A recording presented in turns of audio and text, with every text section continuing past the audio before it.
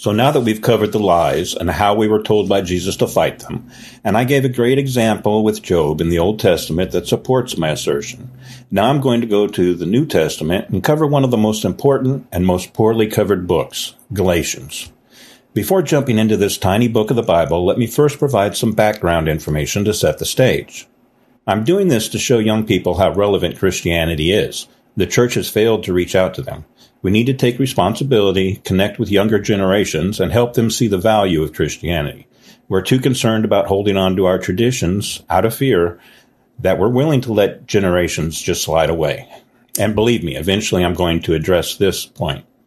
Some churches believe bad things happen because of breaking rules, leading to misinformation among non Christians, and I would submit it's also one of the main barriers to living with Christians. Galatians is a letter from Paul to a church he founded in Galatia. The location of Galatia is uncertain. Paul started the church during his first missionary trip. Galatia was significant to Paul. I believe it was his favorite, and the people there were ancestors of many Europeans, including Americans. The headquarters of the Christian church was based in Jerusalem at that time. However, the church in Galatia started to stray from the Christian message due to the interference from the Jerusalem church after Paul left. Even back then, the traditional church leaders and councils started screwing up the message. And you can see it in the letter to Galatians. Paul is angry. He starts off by saying, O foolish Galatians, who has bewitched you? I bet it's seldom mentioned that the ones doing the bewitchings were the leaders of the Christian church at Jerusalem. In fact, they went to the church at Galatia right after Paul left and started telling them things like, okay, you can be Christian and Jesus saves, but you still have to be circumcised and you still have to keep the kosher laws. This included James, the so called brother of Jesus, and the writer of the book of James, but that's a whole other story. In this letter, Paul is telling the Galatians that this is BS. That's the entire theme of the letter. Have you ever heard a sermon where the preacher teaches on Galatians without giving you this context? I personally think it's a very dry and boring book without it. Context is crucial when it comes to understanding biblical verses. Intended message may be unclear or misleading. Anyway, when Paul gets to Jerusalem after his first mission, he hears about these church leaders' nonsense and realizes they are trying to make Christianity just a small sect of Judaism and destroying the real message of Jesus. And that makes him angry.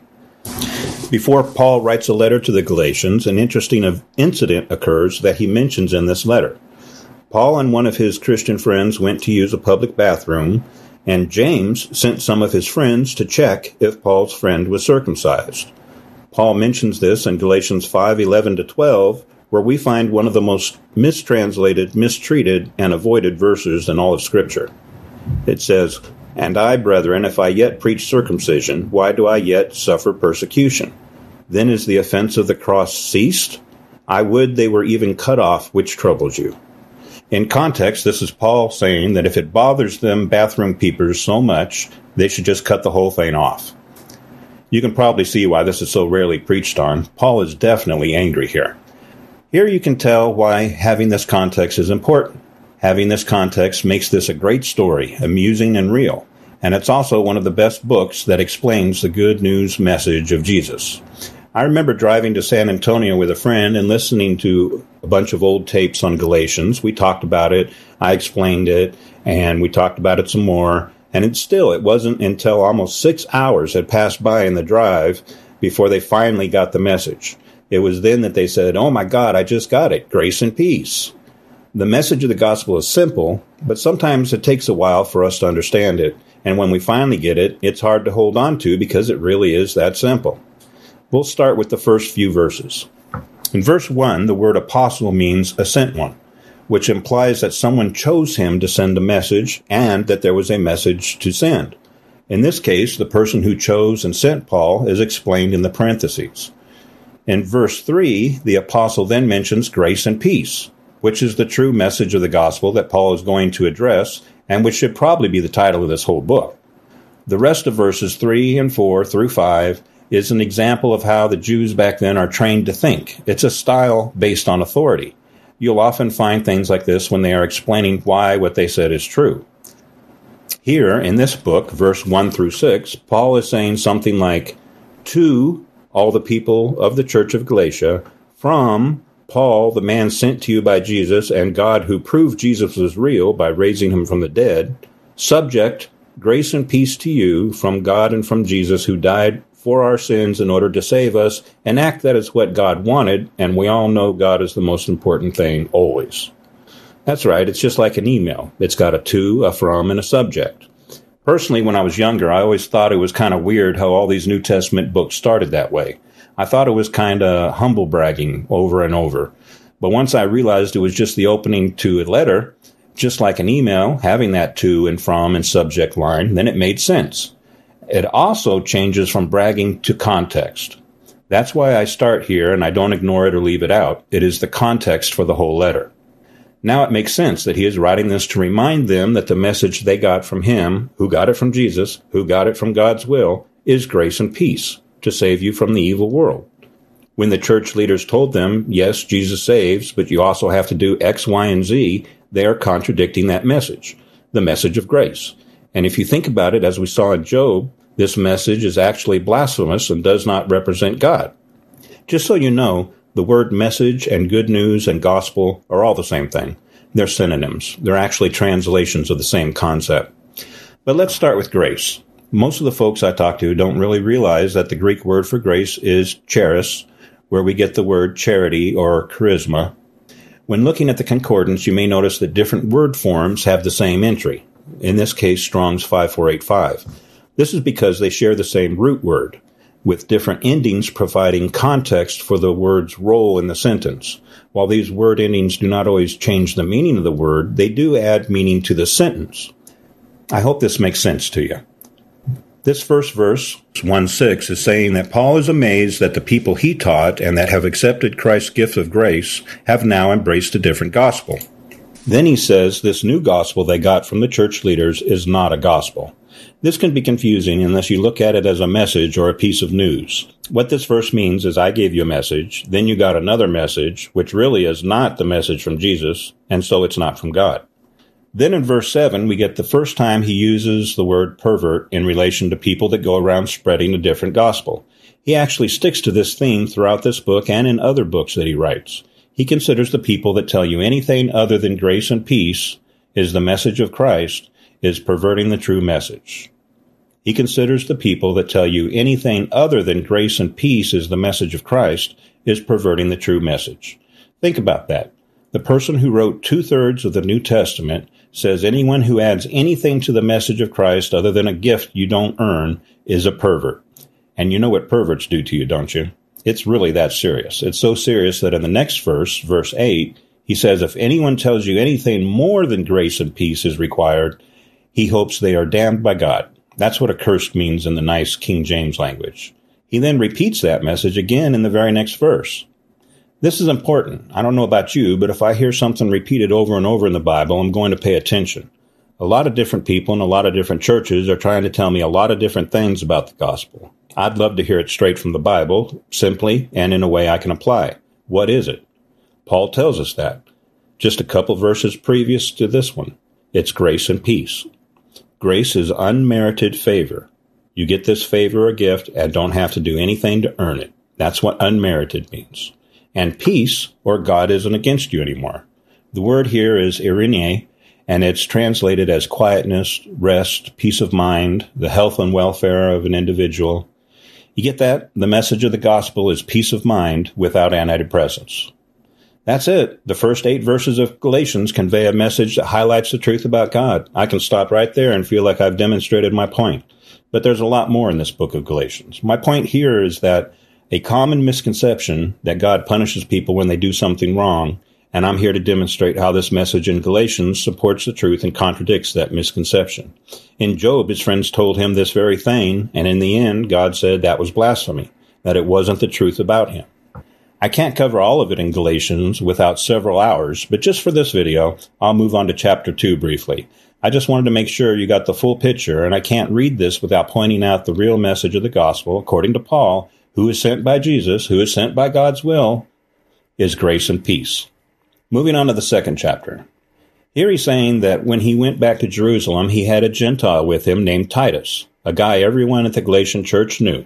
This is good Everyone liked and respected Titus. You can see this in Galatians 2 1. Then here's the part where he says that they spied on them in the bathroom to see if Titus was circumcised. And this after they all agreed to Paul's face that circumcision wasn't necessary to be saved according to Jesus' message. You can see this in Galatians 2, verse 2 through 4.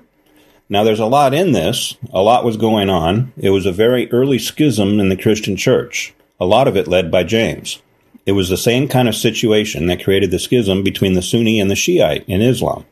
The early schism in the church, led by James, the so called brother of Jesus, was a fight between two factions. The main church in Jerusalem, led by Peter and James, was trying to make Christianity just a sect of Judaism, which would pervert Jesus' message. Paul stood up to them, promoting the opposite message of salvation through faith, not works. Then in verse 2 7, Paul outlines this schism by saying they saw that Peter was committed to one way and Paul to the other. All the talk of circumcision here doesn't have to be any more or less than that's what they were talking about. Do you have to be circumcised to be a Christian?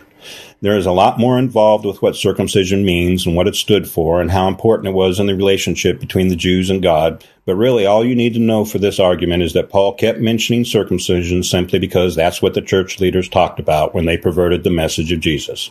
I could speculate that if I was in their shoes, I might feel either insecure that this thing that has been important for centuries is now being promoted as not important, or I might feel bitter that we had to do it and now these Christians are saying it's not important to God anymore.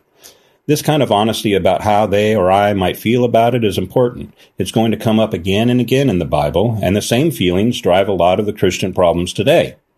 In Galatians 2, verse 9 through 10, Paul again uses this authority argument, saying that rejecting the gospel as Paul preached it would also mean rejecting the teachings of those who were famously connected to Jesus at the time.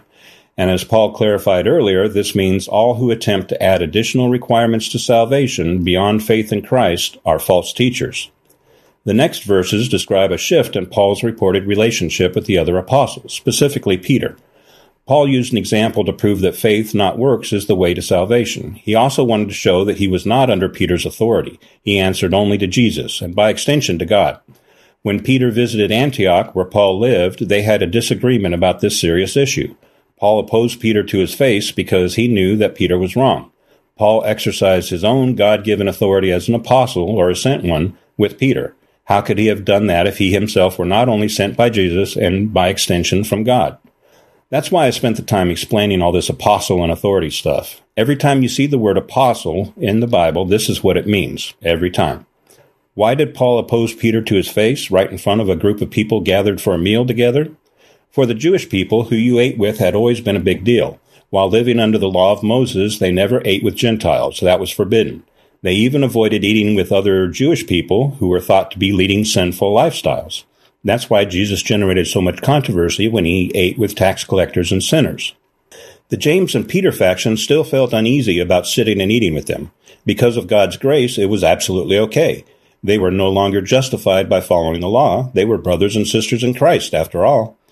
Paul was happy to see Peter eating with Christians when he came to Antioch. However, a group of Jewish men who were associated with James arrived and so left the table with the Gentiles because Peter knew James wouldn't like it. Unfortunately, this caused other people to follow this example. For this, Paul called Peter out as a hypocrite. I just love Paul. Peter was grown up in a Jewish culture, being faithful to follow the law and Jewish customs. He had learned early on that is what made him good. Jesus had changed all of that. Peter agreed that because of Jesus' death and resurrection, it was not necessary for Gentiles to live as Jews under the law in order to be saved. But when he was in front of others, he caved. Because Peter was a leader, his actions influenced others at the table, including Barnabas, Paul's partner. It was an ugly moment, and Paul calls it what it was hypocrisy.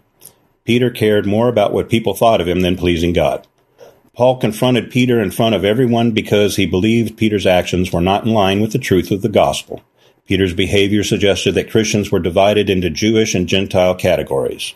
But the gospel teaches that all are saved by grace through faith in Jesus Christ, not by following the law.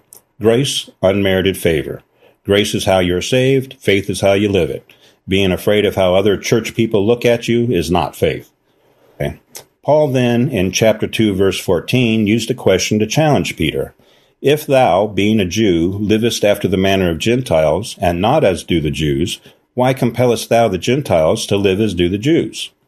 I suspect Paul was motivated by a sense of outrage for his Gentile friends, but also because he believed that Peter's actions were not in line with the truth of the gospel. Paul could have been upset at Peter's actions perverting the message, but also sad with his friend. And then Paul drives home the point. Paul strongly argues that adding requirements like good deeds or rituals to the gospel of salvation is completely illegitimate. The good news is that we are saved by grace alone, through faith alone, and any additions of works is in conflict with this message. This is both found in Galatians chapter 1, 8, 9 and chapter 2, 16.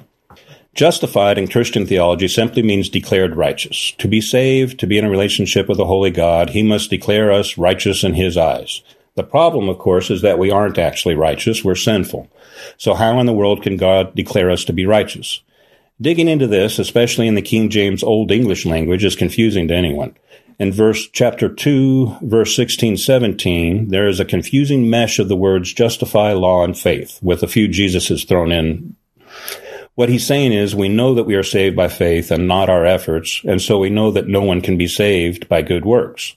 So then if we are saved and still sin does that make jesus somehow someone that promotes sin Paul immediately eliminates one path to being justified or declared righteous by God, and that works of the law won't work, period.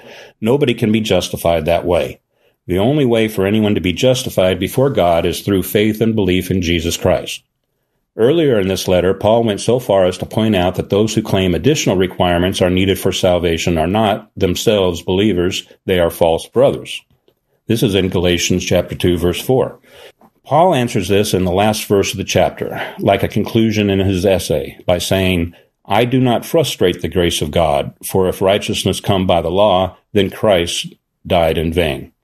If we believe that we can be saved by our good deeds or keeping all the rules, then we are saying Jesus died for nothing. It's that simple. And this really sums it up for me. Paul acknowledges that the law is a way to salvation. If it wasn't, then Jesus couldn't have been made just by keeping it.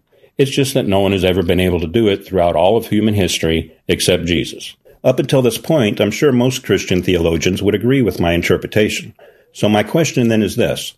Why would God be punishing us if all this is true? If all this is true and faith is what saves us, why then would God even bother to punish us in this life for breaking these rules? The very rules that the crucifixion eliminated. These questions are exactly the same question Paul asked. Some Christians will be offended I even ask them. I would take a look at myself why that is.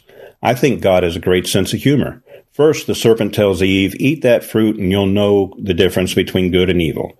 Then he comes along with Moses and tells us exactly what the difference between good and evil are, writes it in stone but he knows no one can do it. It's impossible. Then, when we've gone through all the attempts and the rationalizations possible and think we've got it figured out, here comes Jesus who actually does it. Not only does he do it, but then he dies and pays the price for all of us. So we have a new way to salvation that completely destroys the law. And now we're still trying to do it the hard way by finding some way to keep the laws without claiming we're doing it 2,000 years later. This is what Paul means in these verses, why he asks, Are you still trying to keep those laws to earn salvation? If the law is the way, then Jesus died in vain. Pay attention to that word vain. It's going to be important when we talk about the Ten Commandments. Even a little deeper, grace is unmerited favor, so if you do anything to merit it, it takes you out of grace. This is the part most people won't talk about. As far as you move into earning it, you move out from under the grace to that same degree. So going back to the part where he's talking about the perverts trying to be saved by the works of the law is completely 180 degrees from being saved by faith. It's as completely opposite as you can get. This doesn't mean Jesus is the minister of sin. It's not okay to just break the laws and take advantage, but it acknowledges that we are human and we do break them. What it really means is that the effort or intentions we take in keeping the laws in order to be saved is the opposite of grace. And those efforts include judging yourself or beating yourself up, and they definitely include judging others and how well they measure up to any efforts in their life, and definitely judging others on how well they are saved by looking at their circumstances of their life. We're going to get an even better illustration of this a little long. But at this point, I'm going to have to close out this conversation. For one of the smallest books in the Bible, there's so much good information in it. Martin Luther himself, the very founder of our Protestant faith, said he was married to the book of Galatians, and that's high praise. Some of the best biblical scholars that ever were would spend no less than 12 hours long sermons just to cover this little book. So I'm going to use this conversation to cover the point I'm trying to make that the first lie from the start of the series, that God is not punishing you in life for doing something wrong, that is a tool of the enemy. And then I'm going to cover the rest of the amazing messages from Galatians and additional discussions.